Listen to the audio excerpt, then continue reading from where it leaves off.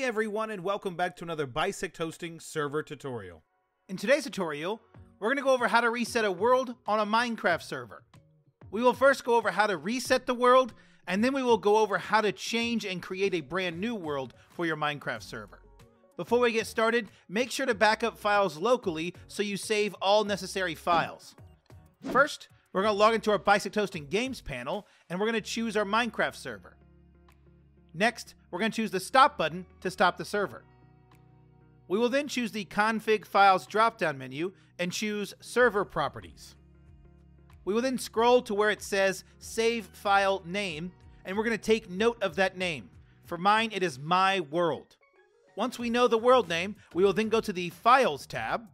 Within these folders, we are going to look for our world name. So mine was My World, and here it is we are going to click the box next to the My World folder.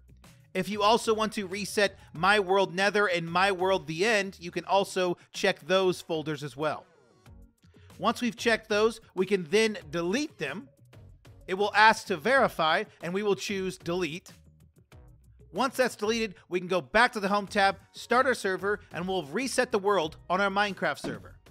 We will now go over how to create a brand new world on our Minecraft server. First, we're going to log into our Bisect Hosting Games panel and choose our Minecraft server. Next, we're going to choose the Stop button to stop the server.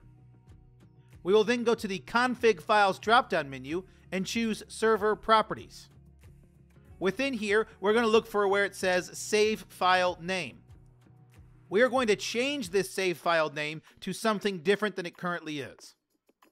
Once we've done so, we can go back to the Home tab, start our server, and we'll have created a new world on our Minecraft server. If you have any questions, check out our knowledge base, bisecthosting.com slash kb, or you can submit a support ticket on our website.